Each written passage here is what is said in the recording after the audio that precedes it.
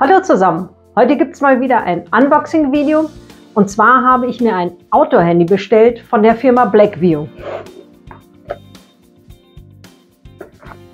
Kommen wir mal zu den technischen Daten. Das ist das Modell Blackview BV 7100.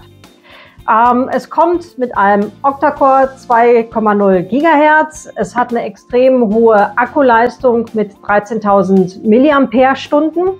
Außerdem hat es äh, 6 GB RAM und 128 GB ROM. Außerdem eine Frontkamera mit 8 Megapixel und eine Rückkamera mit 12 Megapixel. So, dann wollen wir mal reinschauen. Die Kiste ist richtig fertig. Sieht hübsch aus, nett bedruckt. So. Und will sich auch der Deckel nicht lösen. Schauen wir mal rein. So sieht es jetzt aus. Schon mal mächtig groß. Und, wow, mächtig schwer.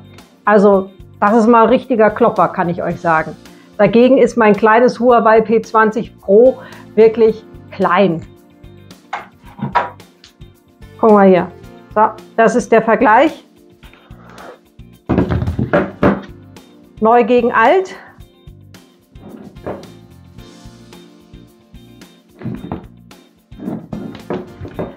Und das ist, das ist richtig, richtig schwer. Ja, ich bin mal gespannt. Es hat hier so, so Gummiecken. Ich packe es jetzt erstmal aus aus dem Plastikgedöns. Also, so sieht das gute Stück jetzt aus. Vom, vom Gewicht, das ist, das ist äh, wirklich äh, Wahnsinn und überhaupt nicht zu vergleichen mit einem normalen Handy, dieses Outdoor-Handy. Ich packe es jetzt mal eben an die Seite und schaue mir noch an, was sonst noch in der Box drin ist.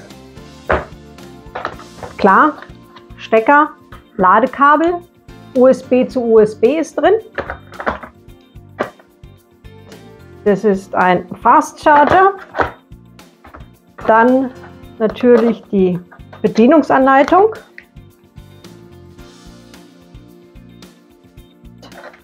Etwas, was ähnlich aussieht wie ein Plektron. Dann heiter weiter. Einmal die Folie abziehen.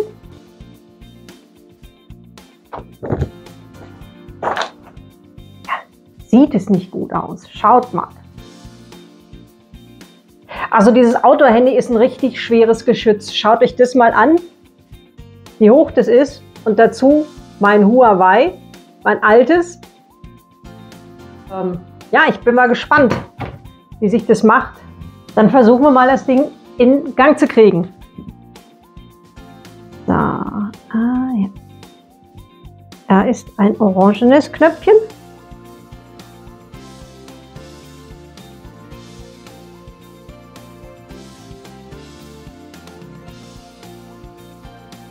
Geht's an.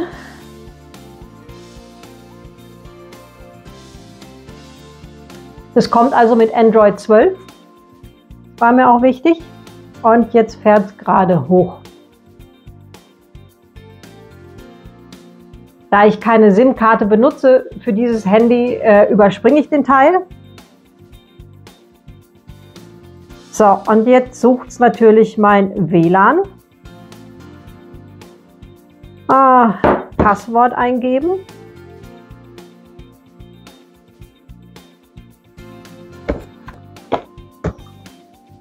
Passwort eingegeben. Smartphone wird vorbereitet.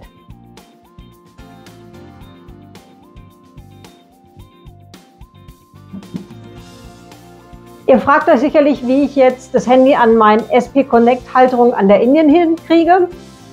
Ähm, ich habe eigentlich eine Klammerhalterung, die sieht so aus, aber dieses Handy ist viel zu breit. Das passt also gar nicht.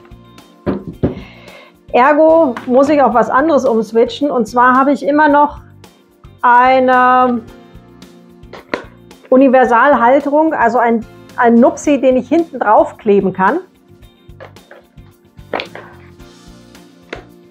Dann kommt jetzt der einfach hinten auf den Rücken, um das zu befestigen.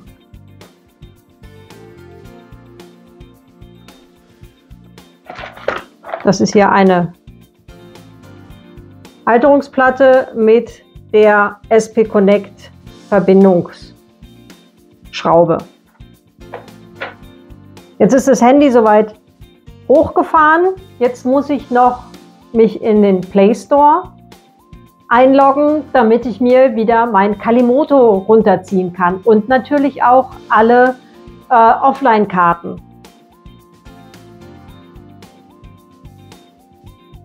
So, und jetzt lade ich mir mein Kalimoto wieder runter. Ich kann Kalimoto ja auf jedem Android-Gerät verwenden, wenn ich mich mit derselben ID vom Google Play Store dort anmelde. So, Kalimoto wird geladen.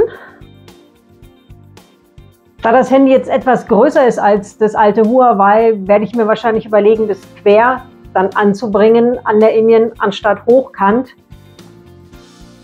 So, Kalimoto hat sich jetzt endlich installiert und jetzt schauen wir mal. Jawohl, öffnet sich, akzeptieren wir. So, jetzt muss ich mich noch einloggen, mit Nutzernamen anmelden.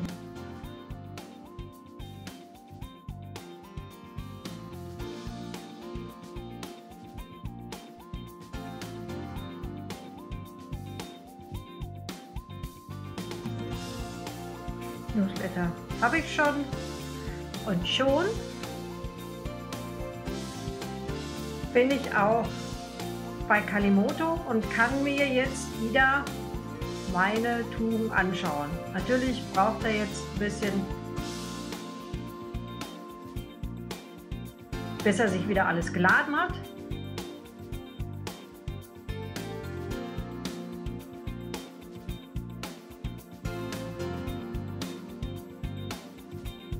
Jetzt ist aus dem Unboxing sogar noch eine kleine Kalimoto-Einrichtung geworden. Ich hoffe, es hat euch gefallen. Den Link zum Handy, zu diesem äh, Blackview Outdoor Handy, findet ihr unten in der Beschreibung. Und wenn es euch gefallen hat, lasst mir ein Like da, abonniert meinen Kanal und ich halte euch mit diesem Handy auf dem Laufenden. Ciao!